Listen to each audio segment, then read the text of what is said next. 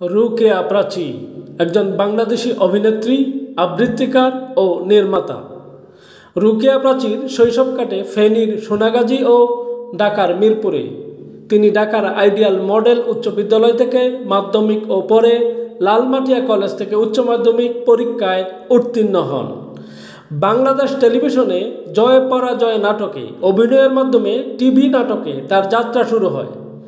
উনিশশো সাতানব্বই সালে দুকাই চলচ্চিত্রে অভিনয়ের মাধ্যমে তার চলচ্চিত্র জগতে অভিষেক হয়। উল্লেখ্য, তার অভিনীত তিনটি চলচ্চিত্র অস্কারের জন্য মনোনীত হয়েছিল। প্রাচী অভিনয়ের পাশাপাশি বেশ কয়েকটি টিভি নাটক কাহিনীচিত্র ও টেলিছবি নির্মাণ করেছেন। এর মধ্যে উল্লেখযোগ্য হল তালিকা, স্বপ্ন সত্যি হতে পারে, রুবিনা, আমেনা ও ফুলকলির গল্প। উনিশশো পঁচাত্তর সালের পনেরো আগস্টের হত্যাকাণ্ড নিয়ে শহীদ রহমানের গল্প অবলম্বনে নির্মিত কাহিনীচিত্র কবি ও কবিতা পরিচালনা করেছেন তিনি। এর আগে তিনি দু হাজার নয় সালে একটি প্রামাণ্যচিত্র নির্মাণ করেন। সেটি ছিল তার প্রথম পরিচালনা।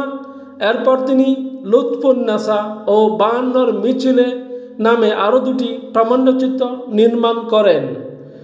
সার্জেন্ট আহাদ পারভেজকে বিয়ে করেছিলেন প্রাচী। উনিশশো নিরানব্বই সালের আঠাশ অক্টোবর ঢাকার মতিঝিলের শাপলা চত্বরে ছিনতাইকারীরা তাকে হত্যা করে।